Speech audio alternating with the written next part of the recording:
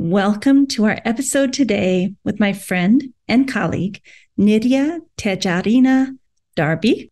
And Nydia is from San Antonio, Texas, and has just written a wonderful book that's going to come out in November called Therapeutic Yoga Works. And the thing I love about this book is that it's about common people who have common problems, such as severe, severe back pain I don't know if you know this, but in 2020, this is from the World Health Organization, in 2020, about 619 million people globally were experiencing lower back pain.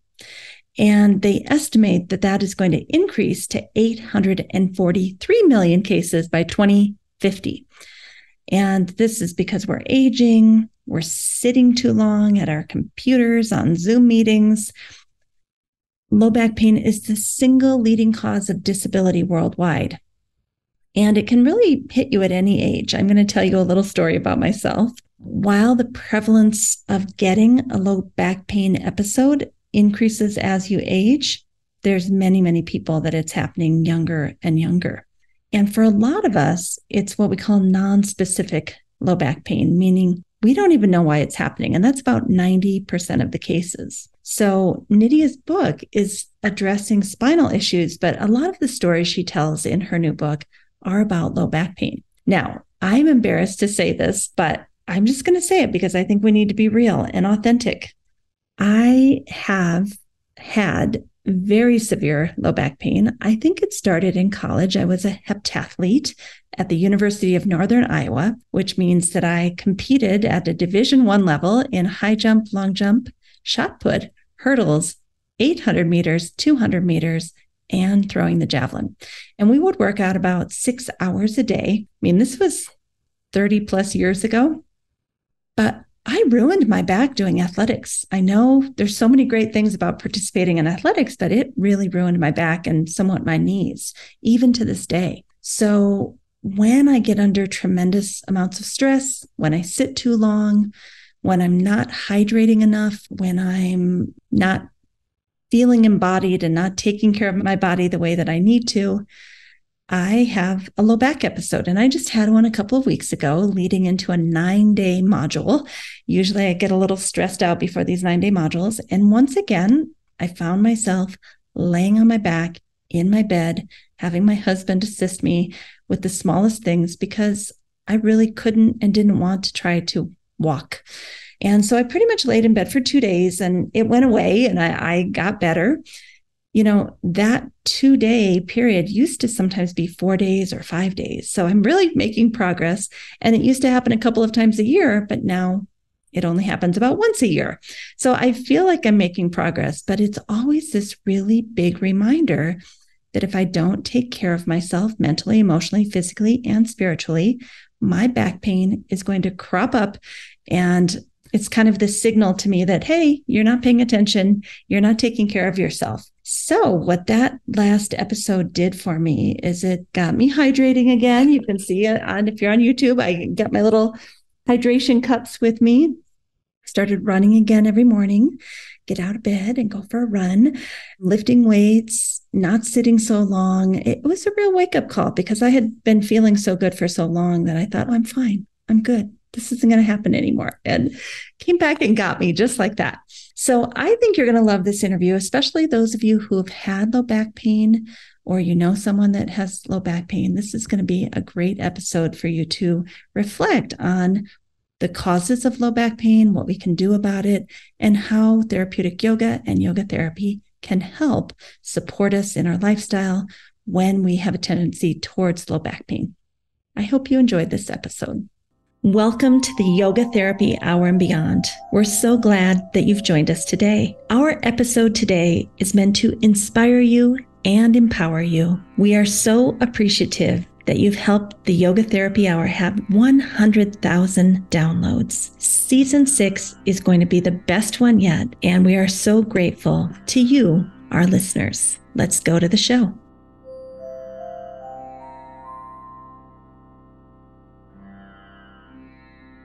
Welcome, my friend and colleague, Nydia Tijerina Darby. So nice to have you here today. I am so happy to be here, Amy. Thank you so much for having me. Nydia, where are you located? I always like our listeners to kind of get a picture in their mind of where you are. I am in San Antonio, Texas. Mm. When I go to your website, which is called openhandinstitute.com, there are all these beautiful pictures of you in San Antonio. And I think, is that her home? Did she go downtown? Like, where are those beautiful pictures on your website from? It is my home. Oh. Uh, this is where I now have my studio. And I looked for a property that I could put my studio on when I downsized from a large commercial location. I wanted to practice what I preach. And your students are lucky to get to come there. It looks like a retreat center or something. I wanted them to have, you know, when you come to practice, I wanted them to get out of their cars and listen and hear the birds and see my cats and hear the chickens. And I really did want that. And you set an intention and it came to fruition. So I'm so grateful. Well, speaking of retreat centers, I think you and I, like, I knew of you and I had said hello to you, but I really got to know you and love you at Kripalu one year. Yes, at, at SEER. Oh my gosh. That's and I completely fell in love with you. It was like, you, and Terry and I were just three peas in a pod. And I haven't laughed that hard very often with yoga people. I thought these are my kind of women. They don't take themselves too seriously. we had such a good time. And I was just honored and thrilled to meet you too. I was like, hey, I had a big, huge girl crush. I was just like, well, I did too after that weekend. I was like, I love them. All right. Well, Nydia, you have written a new book that we're going to talk about today. But before we, you know, spill the beans on the title and the release date and all of that, I just first want to start with where it all began with a woman named Carolyn, whose back would go into full spasms and the pain was so intense it would leave her unable to function fully for days or weeks at a time. I want to talk about Carolyn because I've been there. Mm-hmm. Carolyn could be me. So tell us about Carolyn and your relationship with her and how you supported her. Well, Carolyn was minding her own business when she was able to go on a trip. She hadn't been out of her home the year previous. She had had, when her back would go out, it would go out and be in full spasm intermittently for three months. And Ooh. she would be incapacitated, barely getting to the bathroom, you know, just to having to take meds. And the year before we met each other, her back went out three times. And so that means that for nine months, the year before we met, she was not functioning. She was hmm. already in her mid 60s and she had things to do. She had grandbabies and a potential wedding coming up. And so she met one of my clients on a trip. And my client said, You need to call Nydia. She didn't know exactly what was going to happen when she met this mm-hmm. physical therapist who uses yoga. You know, what is that? And it, that was in the 90s. So it was a little bit odd. you know how that goes. But she made the call and we spoke and we set some sessions. And this was before I had an actual physical location. I was going to my clients' homes and we started a professional relationship. We would work with each other once a week. It so happens that we took about 12 weeks, you know, almost the same amount of time that her back would go into full spasm. And at that time, you know, I function as a physical therapist and a therapeutic yoga specialist. And so back in those days, we didn't have direct access as a physical therapist. I still did private work.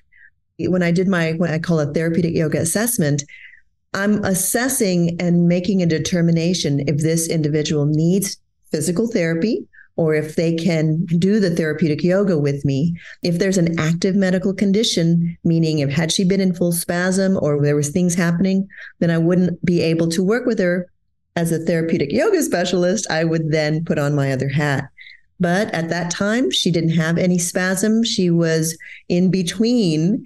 And so it was a perfect opportunity. But I will say that when I'm doing those assessments, I am mindful of those limitations and I have to wear a different hat. Ultimately, my clients' well being and health is my first concern. And so I won't do anything to the best of my ability, do anything to put them in harm's way. So there may be people listening right now that really don't understand the scope of practice of a physical therapist versus a yoga therapist and where that line is. I know you said if she had been in full spasm, but what is the difference? What do you do as a PT versus what do you do as a YT? so interestingly enough, especially now, they're very similar. Mm. Uh, except for the fact that as a physical therapist, there are modalities that I have access and I can actually use. I don't personally, professionally use a lot of the different modalities. Like I don't have ultrasound here. I tend not to use that. But I am a certified dry needling specialist. So I can actually use acupuncture needles to help to do dry needling. And that is an option that I have when someone's in pain. In the physical therapy world, we call it therapeutic exercise. When it comes to the activities, they're really similar. In fact, they're the same.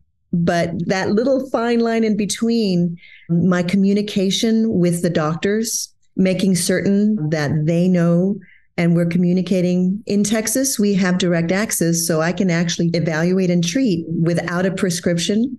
I work on fee for service. So the client is paying me directly and I don't use private insurance. But some of my clients, I tell them, call your insurance company. And if they're willing, they will reimburse you. And that happens many times. And I also don't see somebody, sometimes clinically in the traditional clinic, they might see you three times a week or something like that. I tend to see somebody once a week depending on the situation. We're developing their program in physical therapy world as well as in our therapeutic yoga too, you know. So they're similar, but when it comes to them having an active condition, maybe they're a breast cancer survivor and they just going through chemo and they need my specialized attention looking at some things. As a doctor of physical therapy, we are trained in understanding the pharmaceutical part. We don't prescribe anything that way, but we have to understand some of these things. And so it is a little muddled, but over the years that I've been doing this work, the line gets very distinct. Mm-hmm. And ultimately, it's what does my patient, physical therapy, client, therapeutic yoga, what's the best thing for them? And then I will act accordingly. I don't know if that helps, but it's no, it helps. It's lovely, and I think so many people have this question. I think that leads us to one more question before we get back to Carolyn to hear what happened to her after twelve weeks. Is what are the areas that yoga therapy can support the person that maybe PT doesn't? Great question. There's so much that's being done with the yoga therapy the awareness practice, mm. the breath work that we do, the groundedness that we help a person begin to move forward with, the embodiment mm. that we help people with. I believe physical therapy is needing that. You know, occupational therapists, their curriculum is different. Right. And they do a, more of that work. They have more of the psych background. You know, we, we get several courses in psych, but they've got a little bit more going on. In fact, whenever I talk to an occupational therapist, I say, you should consider, you know, yoga therapy. I think that you'll really appreciate it because they just kind of I'm going to say this directly. No offense to my PT peers out there, but many of us, and I'm going to put myself first here, are type A and we're just don't always see the whole person. I mean, I'll be the first one to say that I'm in recovery as a type A personality, and it's taken me years and I'm still working on it. But for whatever reason, it seems to me in the past that physical therapy majors were very, very driven and very type A, and let's just get this going. And sometimes, to be quite frank, missing an opportunity to see a whole person now. Mm. My hmm. peers are going to get mad at me next week. I go and I present at the Texas Physical Therapy Association, but all of my friends are going to come and they do love to do therapeutic yoga with me. So, and I don't know. I mean, I think there's a lot of PTs that are learning a lot of these skills too. And I even have PTs that I know that are taking a full yoga therapy certification program oh. for continuing ed and personal growth and development. So I don't think we have to choose either or. I think they're complementary. And I agree. Know, have been over the past five years presenting at the Texas at our annual conference because I want more physical therapists to recognize the first thing I want is for them to embody the practice for themselves so that mm-hmm. they can actually feel and recognize the benefit. And I find that when we do that, then they are more able to implement breath work recognize, you know, what they're doing, offering therapeutic exercise that, hey, is your patient breathing while they're doing this? Are they focusing their attention? And so far, so good. We've got a really neat, you know, group and we call ourselves integrative physical therapists, right? Because we're integrating other modalities and other ways. And it's such a great thing. I'm really encouraged for us as a profession that way. So let's go back to Carolyn, this woman who sometimes would be down three months straight you said you worked with her for 12 weeks, not long, but what happened? Well, we started with our first session. You know, the first part is a phone call. It's hi, okay. And in that phone call, where I'm trying to determine whether I have something to offer. Once our conversation, she told me her history is like, yeah, we've got something. I've got something for you. And then we start with our first session. And the first session, I call it a therapeutic yoga assessment. Mm-hmm. And that mm-hmm. therapeutic yoga assessment is the time, you know, these days it's a little different because when I first saw her, that was a long time ago. And in the book, I write about it. You know, I actually had physical pieces of paper that I gave her. These days, I send a digital intake questionnaire. But we review her old history. And in that old history is really important because that is helping me to make a determination. If there is something in her history, you know, if she has a cardiac history, then I'm going to check blood pressure again to determine if she needs a more medical approach versus a therapeutic yoga. Then I have her move. We were moving and I used the therapeutic sun salutation as an assessment tool. It begins the process of standing mountain. I'm looking at how well she's within her own body. And then that therapeutic sun salutation gently mobilizes every major joint and it gets the person, it got her down onto the floor. I'm evaluating, assessing that. If this individual is not able to get on the floor or has, you know, limitations, I can see that in the sun salutation. And so we did that. And she was, you know, oh my gosh, that's harder than I didn't realize. One, she didn't think she could do it. Two, she did it and she was surprised. And then during that time when she was doing it, I reminded her that she was holding her breath.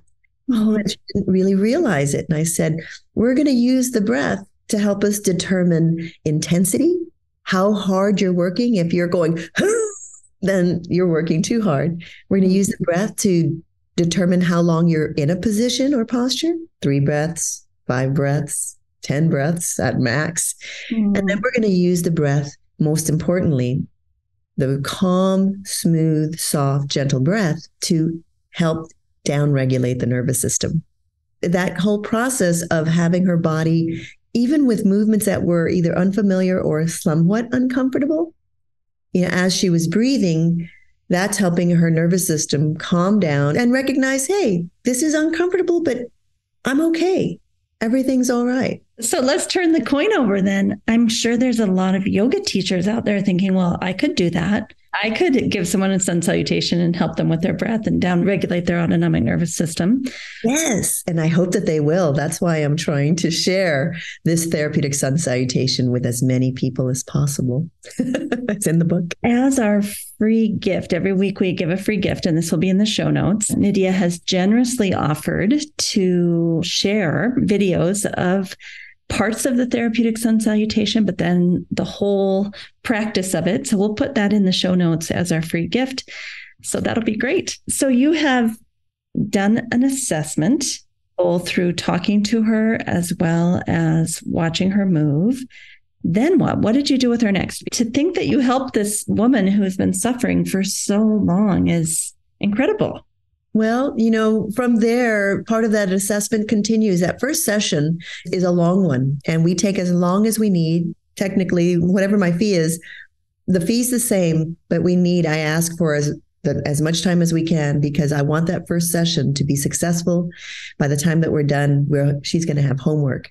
So the next thing that is happening after that is assessing her breathing. And start doing some instruction and noticing is she doing diaphragmatic breathing? Is there a lot of tension in her body? Is she holding tension in certain places and guiding her? Then I use therapeutic bridge posture. I call it the therapeutic bridge posture because it's a little bit different. It's not just on your back, lifting your hips, but it's an integration of I need you to breathe. I need you to be aware of your shoulders back and down. I need you to anchor the hands into the mat, thumbs, fingers wide.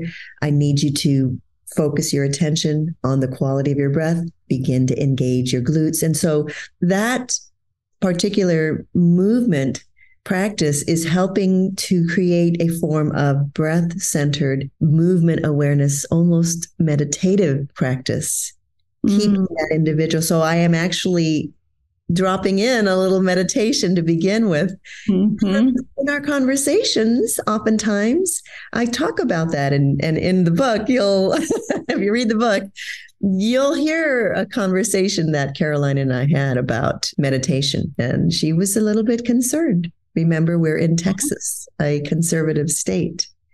And she had a question about that. And, and we answered we'll have to read the book to see what happened. But I think that is a big question for a lot of people. I was speaking to a potential yoga student for our Optimal State Yoga Therapy School the other day, and she's a teacher in Texas. And she said, I really want to take yoga therapy training, but I'm not going to be able to call this yoga or yoga therapy. You know, and that's just this state that we're in. And I just told her, of course, we don't want to do cultural appropriation, but I also don't want to cut off hundreds of elementary school kids from something that could change their lives. Completely. Yeah, goodness. Mm. It is a process and we did. We had that conversation and so read the book. You'll find out what happened. It's pretty cool.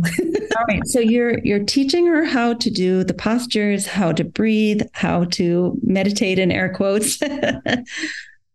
Focus attention. 12 weeks like what happened to her so after our first session she's got homework and she's to do the homework and that first session is going to mean a lot because what I tell them at the very end is, hey, I'm coming back in a week. So, in order for you to get the best value for what we're doing, you have to do the homework. If you don't do the homework, you might not want to continue. One, I'm coming back and we're going to look at how you did, and we may either make some changes or add to your program. So, let's not waste your resources, our time. Let's make sure. And so, I give that, I'm pretty stern about that because life is short and we need to take this seriously. And so she did the work. I came back the following week and she had great questions. So that told me she did the work. Then she demonstrated when I was guiding her, and I could see that her body was more used to. So again, it confirmed that she had done the work and she was ready for more. And I just began to give her a couple of more activities gradually every week we are spending time together answering questions i'm reviewing what she did as her homework she's showing me she's asking me questions and then i'm either adding or subtracting an activity and or eventually in one of the sessions it was time to talk about building muscular endurance through the form of walking for exercise and we talked about that. Then she had a beautiful community that she could walk outdoors. And she was in a very nice fitness room she had in her home. And there was a treadmill in there. And, and I said, if it's rainy or, you know, inclement weather, then you can use the treadmill. And she goes, you know, I've never used that before. I've had it. My husband used to use it. And, and I thought part of that session then was determining if she's safe to use that treadmill teaching her how to use that treadmill, making certain that she understands how to be safe and that it's an appropriate thing to recommend. So we did that on one session and now she had some options and she's starting to use her fitness room that she had in her home much more than her husband. it was pretty neat. So by the end of the 3 months was she I mean, I know with back pain at least for me, I'll be fine for a year. And then one day it will strike and I will be on my back for two days. Like, do you think this is something that her episodes became less intense and less frequent, but they still are there and she has to work with it? Do you think they disappeared completely? Like, what do you think happened to Carolyn? So, part of the process, the evaluation, the assessment process is ongoing because That's the nature of our work when we're working with someone, either as a physical therapist or in the yoga therapy, the therapeutic yoga. And so every session I'm evaluating and I'm having suspicions. What is the source of her problem? Why was her back going out? And truly that is what i'm really doing. I'm looking for the source because she presented with an mri and some x-rays that showed bulging discs. And in the process i'm looking at that and i'm assessing her to see if she's having any of those symptoms and she's not presenting. And then i'm educating. One of the biggest challenges that i find with those of us who experience pain is the unknown and the fear of the unknown. Mm-hmm. And then she had this MRI that said there is a bulge in there. And back in the 90s, when I was an early clinician, early in those days, we had just gotten MRI technology that was readily available for many. And now everyone's getting an MRI and everyone's got bulging discs. And back in the 90s, it was, oh, disc bulging, that's the source of your pain. Let's do surgery, correct that problem. Well, there was a lot of surgeries going on that here comes a Nydia strong opinion that were unnecessary. In fact, too much. And we're not correcting the source of the problem because as you know, and many of you know that are out there might understand, pain is a very multifaceted thing. And so in Carolyn's situation, she was fearful. Mm-hmm. She was overwhelmed. She was stressed. And there was a combination of things that were happening. And then she had a history. You know, I don't know if I referred to it in the book, but she had a family member who had major problems and already knew that, oh, that must be me. I guess I now am that person and I'm going to be incapacitated and I'm going to lose my ability to have a wonderful, joyful life without pain. So there's so many facets that come in. And part of my work was to help educate, inform, so that she could understand. And in the writings, I share a lot about, you know, I bring a little bit of the science in and I talk about what the different Cleveland Clinic and, you know, all of the different major health networks that are providing, they're doing the research and sharing it with us, helping her to recognize that just because there's a bulge in your spine doesn't mean one, that is the source of your problem, two, that it's going to incapacitate you, three, you know, that it can't be changed. And so giving her that information, empowering her to understand that her body's amazing and it has an unlimited potential for healing and that what I'm recommending is that we give it that opportunity, help her begin to trust. Again, that's there's a lot of layers to that. And if a person is ready for that, you know, you asked, does she finally get to a place where she doesn't, you know, hurt anymore? She gained skills in awareness, in paying attention, in improving her muscular endurance, improving her posture, but also recognizing when she was doing things that she probably wasn't a good idea, like not asking for help when she's moving the heavy potted plant, you know. and so making choices, making changes as she needs.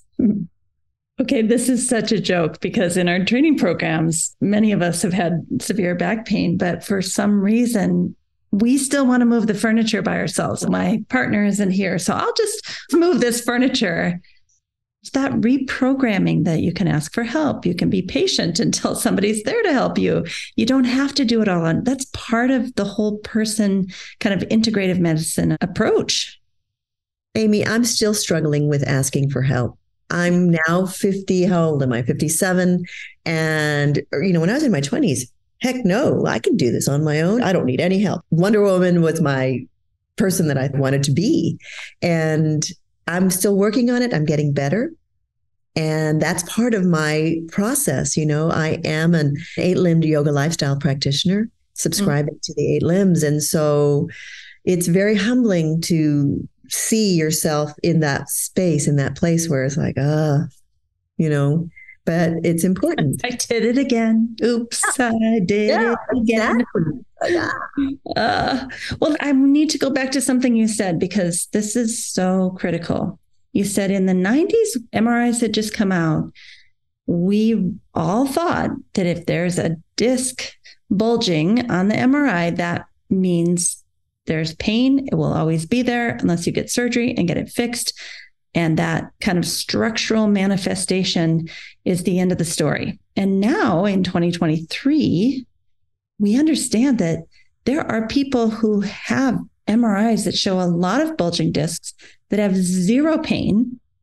And there are people with, you know, no bulging discs or very small bulging discs that have incapacitating pain. So, can you just talk us through what we've learned since 1990 to 2023 about pain and why what we're seeing on that structural MRI is not the end of the story? Or, you know, there's so much more to it than that.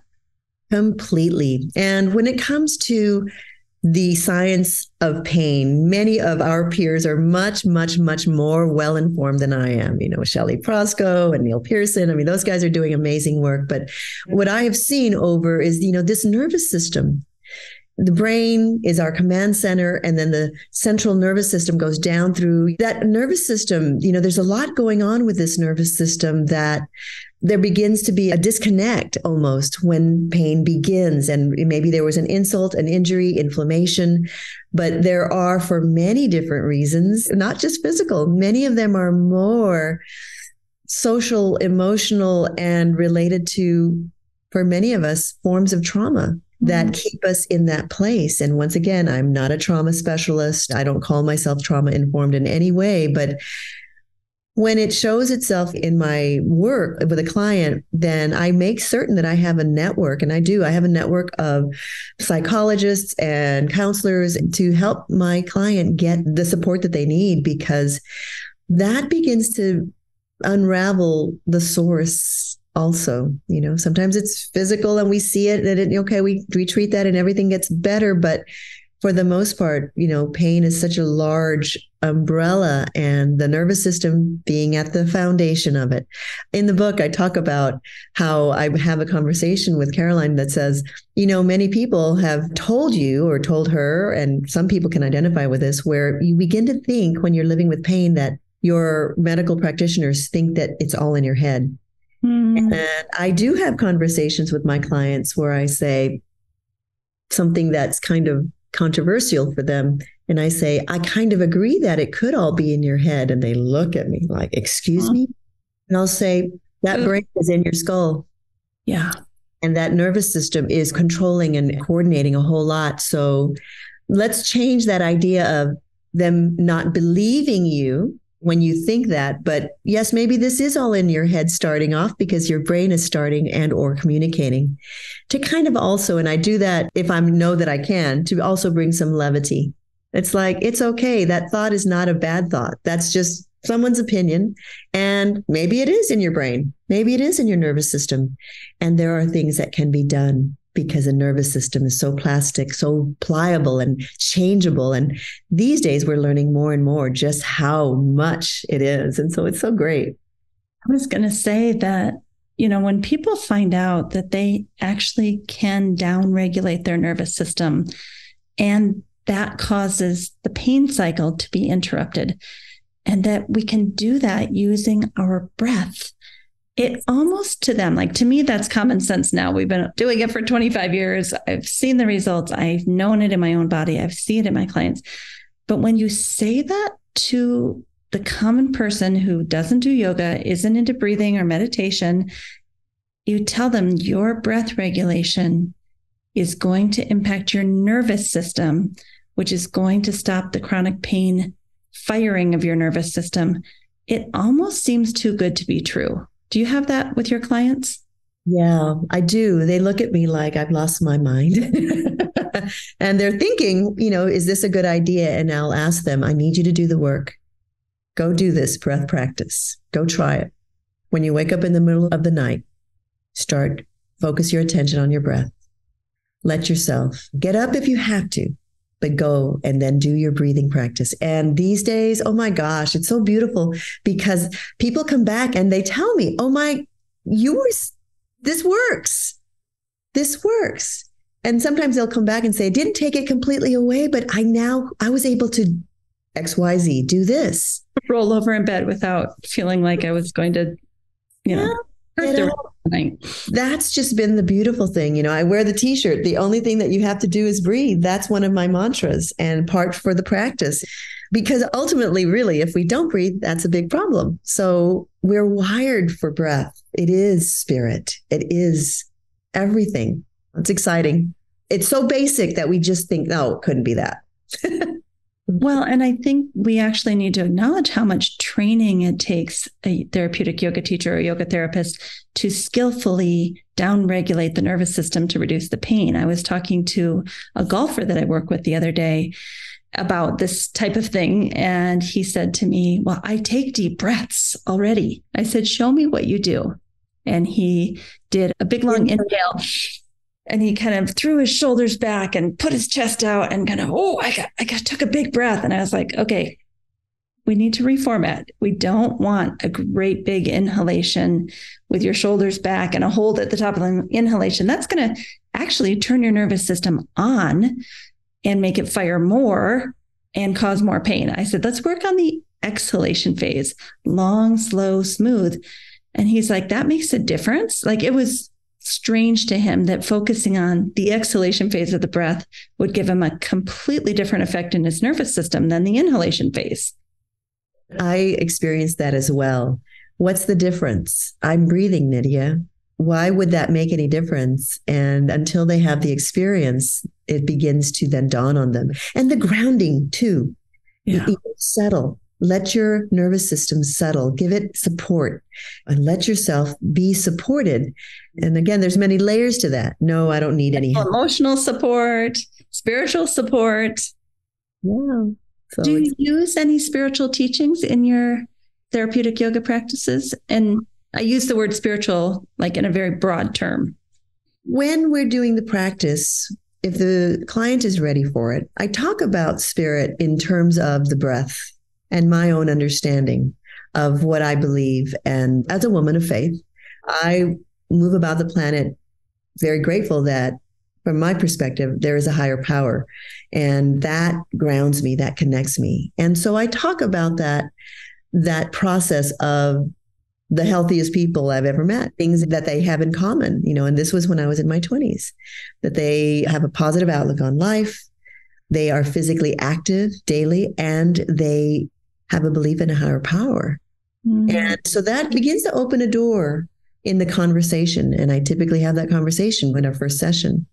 And then I can understand what their perception or what their feeling is about that. Some of them agree, yes. And they begin to communicate with me about their own upbringing or where they believe they are spiritually. And then from there, we're able to then move forward. But not a whole lot of spiritual stuff coming from Nydia other than having them sharing with them that my own personal belief about spirit and breath intertwining and in many different cultures and different backgrounds the word the base the root of spirit espiritu and how it is breath pneuma breath spirit and these words all translate to the same thing and they come back to breath and they come back to spirit and inspiration, the word. Mm-hmm.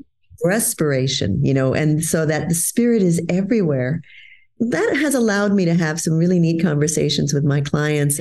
And then the door opens and we go wherever that leads us. But no, I don't typically go down and say, well, you've got to go do this. And and then when they ask me, Nydia, what is your faith? And I talk about being a woman of faith.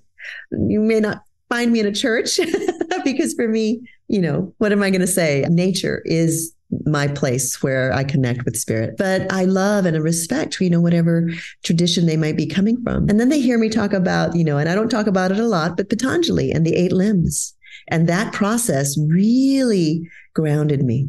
It was almost familiar and frightening at the same time when I was first introduced, like, wait a minute, I get that, you know, the yamas and the niyamas. Yes, my upbringing in the Catholic tradition, the 10 commandments, you know, so it made sense to me and it helped me to more effectively assimilate and subscribe to the eight limbs. So that grounds me and connects me. And then with my clients, I just like to listen and hear what their perspective is. And then I try to answer questions if they have any.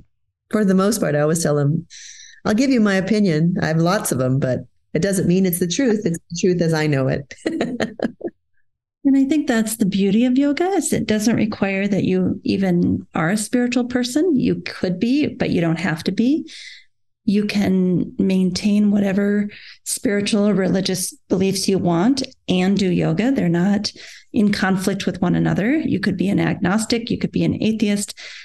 Yoga doesn't say you have to adopt this way. Completely. a yoga person. Yeah, I agree. You know, and I share with my clients if, if the question arises, I'll tell them my yoga practice actually strengthened my spiritual foundation. the light is coming in in a certain way. Well, hello, gee. you look, you've got spirit all around you now. For those of you watching on YouTube, it, it really looks beautiful. And it just appeared.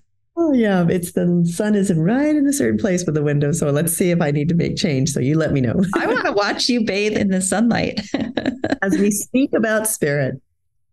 So, Nydia, you have this approach for working with people that especially involves spinal pain, whether it's the neck or the low back or, you know, really any part of the spine. And I know you do much more than that, but today we're talking about the spine because of this new book. What would you say is really unique about the way that you approach helping people to have less pain, more mobility, more joy in their lives? I believe it's about empowering the individual, mm-hmm. giving them the tools, making certain, you know, even as a physical therapist, one of my challenges was that people were coming back over and over again because they were depending upon me to fix them my husband used to laugh at me. He's also a clinician, a physical therapist, and he'd say, Nydia, your business model kind of sucks because you're empowering them and giving them the tools so that they don't need you anymore. And I'm telling him, yes, exactly. Because mm-hmm. that to me is the best thing that I could do for someone is to teach them to self regulate, to teach them what to do in the event of a little increase in intensity of their discomfort to help empower them to have the tools so that they can go off into the sunset, you know, not need me and be independent. Uh, mm-hmm. Uh, this is so important to me. And I believe that's my forte. I'm going to teach you how to do this. I need you to do this. You have free will and can choose not to do this. But if your desire is to make a change, there are tools that I'm going to offer you, and then I'm going to want you to use them and select not just from one tool, but select what works. And how do you, I mean, let's talk just for a moment before we close about compliance. How do you get people to comply? Because I think that's a really challenging thing for physical therapists that people come in for their once or twice a week sessions, but they don't actually do those exercises at home. How do you get people to do it? Well, our medical model here in the United States really screwed things up when they started this insurance thing. We've seen the insurance industry where people back in the 90s, again, that was when I started thinking and paying attention to this stuff. But, well, you know, in the insurance industry, it was different. There was great coverage. You went, you didn't pay anything. You just went and people treated you and you went as often as you wanted to. And then things started to change. Now there's co-payments and it's getting more expensive. One of the things that I know helps with compliance is that they're paying me out of pocket. They're making a financial transaction. They see it, that money. And I've had individuals who are on a very restricted budget, but they know the value. And so they have paid for something and then they better use it. And so that's one of the aspects that I have found that helps with compliance. And the other thing, telling them where I won't see you again if you don't do this. So if you come back and you haven't done the work, then you're wasting resources. And mm-hmm. that's not appropriate. I don't want your money. You know, this is not what I'm after. I want to help you improve. I do have to make a living. That's why I charge, but I want to see you improve. So let's use our resources wisely. And then following up, there's a relationship that also begins. And these clients, you know, we become friendly. We don't go out or anything like that. We don't socialize, but they're family. Mm-hmm. And so they begin to have another connection, which is a family kind of connection. And that is important to me. And I do joke seriously with mm-hmm. them about the fact that I am somewhat of a mother hen. I do worry about I was just going to say, Mama Nydia. yes, you know, and, and I'll tell them, I'll say, hey, I do care about what's happening with you. And in the future, if you're going to have a surgery, you know, let me know. I'm a woman who prays, so I can put you on my prayer list. I want to be holding you in my heart when you're about to have that process. Nydia, I think what you're talking about is really special that our clients know we care about them. I have clients that I haven't seen for years that I still think about often and I care about and I pray for them. And I kind of feel like as a therapeutic yoga teacher or yoga therapist, we build these really deep, caring relationships with people that last long term. Yeah. And I think a lot of that is that we're working on the community. And, you know, that's one of the reasons I still offer live stream and on site classes is because the community is important. Many of those clients that I'm seeing one on one, I'm trying to get them into community too. I'm trying to say, hey, you're ready now to go to the gentle therapeutic yoga class because community is important. So that first interaction is me reaching out to them and inviting them into community with me Mm. And hopeful if we can then get them into community in the studio or encouraging them to reach out to their neighbor and sharing doing a little therapeutic yoga with their neighbor and saying you know and and starting a practice you know. Somehow community though is just we understand it right? We know the research the science is there. Community yeah. so vital. It is. I mean loneliness is a big problem. You know, there's so much research to show that loneliness is as bad as smoking. So I agree with you. So, Nydia, let's finish up today talking a little bit about your new book called Therapeutic Yoga Works A Gentle Approach to Eliminating Back Pain and Improving Functional Mobility for Life. I understand we can already download a copy off of Amazon through a Kindle and maybe even get a printable copy. Is that right? We can get a printable copy right now, and the Kindle version is going to be released in early November. So by yeah. the time this podcast airs, because we're about four to five weeks ahead of time, and it looks like that, it will be released. Yep, yep. This is my copy. So, but yeah, there it is. I can't even believe it. I'm still pinching myself. Yes, yes, yes. And Nydia, I'm going to pull up your website here also because I want people to see these beautiful pictures of the San Antonio gorgeous. I just love this picture. And if this is outside your house, I want to come visit you. oh, wait, you have a place here. We call it the Hacienda Darby. Oh, it's Spanish style, and we've got a courtyard and things. And yeah. So your website is called www.openhandinstitute.com. And I see that you have live classes right there at the Hacienda, but you also have online classes on your website. You have some beautiful videos that we could practice with you.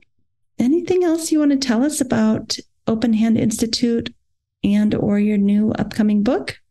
So the Open Hand Institute is my educational platform. I have Nydia's Yoga Therapy Studio. I have three personalities now. Nydia's Yoga Therapy Studio is my yoga studio. The Open Hand Institute, this will sound the way it's going to sound, but I always said that Nydia's Yoga Therapy Studio would never offer teacher training. Mm. There was a reason for that, that I felt strongly, and I'll share it with you. I had very strong thoughts whether it's right or wrong, that many studios were offering yoga teacher training just to keep their studios open. Mm. And I felt strongly that that was not a good plan. We can't do that. We have to have a passion for that. So in 2015, I got an opportunity to actually start a teacher training. And I thought, well, if Nydia's Yoga Therapy is not going to ever do that, let's start the Open Hand Institute and let's do a platform, an educational platform that is focusing on providing, educating, elevating not just yoga teachers' potential 200 or 300 hour, but actually elevating and educating physical therapists, clinicians who might need continuing education. And so you know, Open Hand Institute exists now. Open Hand Institute is it's responsible for my community outreach, the book, all of that, and we'll continue to expand the platform because I'm getting ready right now. I've actually done some proposals to the independent school districts that I grew up in Rio Grande Valley, which is an area that needs a lot of help.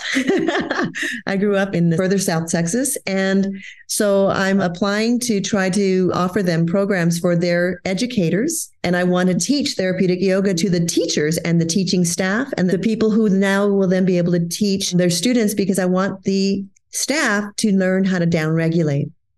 So I'm not trying to go teach yoga teachers at the school level. I want to teach them these skills because I feel that it would be very important to then that trickles down to the students when the teacher can embody a practice that helps them downregulate. So I felt very strongly about that. And I'm actually applied to my own alma mater, my high school, my independent school district that I went to school with. So let's see. I hope that they, I've done a few presentations for them and their central office, and I'm well received and I'm grateful. And I'm looking forward to, you know, connecting and going to the source, to to the schools. Is it full circle? I mean, you were a young woman in that school system, probably didn't know how to regulate yourself at that time. Oh, the stories. Completely. I love that. I love that. And I love that you're wanting to teach the teachers who can just use it in the classroom right here, right now. We don't have to go to a special yoga mat. We don't have to take an hour out of our day. Like the teachers in the school can say, all right, everybody, we're going to take a three minute breathing break, you know? Exactly. Thank you, Nydia, for being with us today. We wish you so well with the launch of your new book. I'm so grateful for you. Therapeutic Yoga Works. And I'm grateful for you. I see you on social media. I smile every time I see you. And I love knowing that there's good people in the world out there doing amazing work. You know, just trying, right?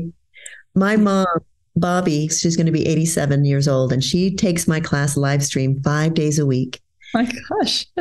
and I learned from her that you know, and she always said, God will never hear you if you don't speak up. So, in the course of my lifetime, I've always just tried. You know, mm-hmm. let me just try. I've got to try. I got to ask and let me just try. And if I fail, my parents also taught us, you'll be okay. Yeah. They said, no. Okay. You get to keep going. It's all right. It's not your life. It's just a no. Yeah. A no for today. Yeah. For like today. Exactly. Parenting. You're really fortunate that way, I think you know, we're looking forward. We're getting ready to throw her birthday party next year. So I'm really grateful for her insight. And she was ahead of her time as a Hispanic woman born in 1937. So, yeah. And now you get to be a mother figure to so many others through your work. Thank you. Thank you for what you do and for this podcast. It's amazing. Five years? Is it it's only been two and a half, but we oh, already. Oh, it's that's what it is. It's the it's the episodes. Yeah, we've gotten to a hundred thousand downloads in two and a half years. I'm just blown away. So I'm living my life purpose here, and I enjoy every single episode.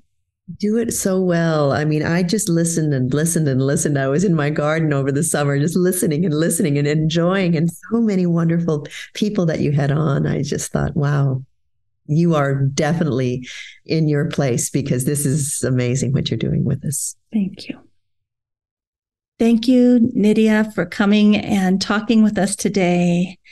After Nydia and I finished the interview, we turned the recording off, and we really shouldn't have. I wish you could have all heard the conversation. But what it boils down to is that community matters. When we come together, and it really honestly doesn't matter if it's online in a Zoom room or if it's in person, being with other people on a weekly basis where you can check in, see the same faces, learn together, grow together, breathe together, be together. It actually is a healing tool all in of itself to have this bookmark in your week when you come together as a group and as individuals to do self care. So Nydia has weekly classes online that she streams. I have a yoga therapy clinic every Monday night, and we have such a nice community. And I know Nydia does too, that comes together. We're all getting to know each other over time. I have a different theme every month for my classes. And we already have the 2024 calendar out if you're interested. And Nydia also has a beautiful community that comes together several times a week to practice online together. So I just want to encourage you that if you're having any kind of low back pain or neck pain, or if you just want a place to go every week where you can feel cared about and connected and loved up by some mama bears like Nydia and myself, we invite you to our classes, especially online, even if you're around the world, and make yourself a priority. Give yourself that time to regulate your autonomic nervous system, to stretch your body, to breathe, to feel, and to connect. All right. Thanks, everybody. We'll see you next time.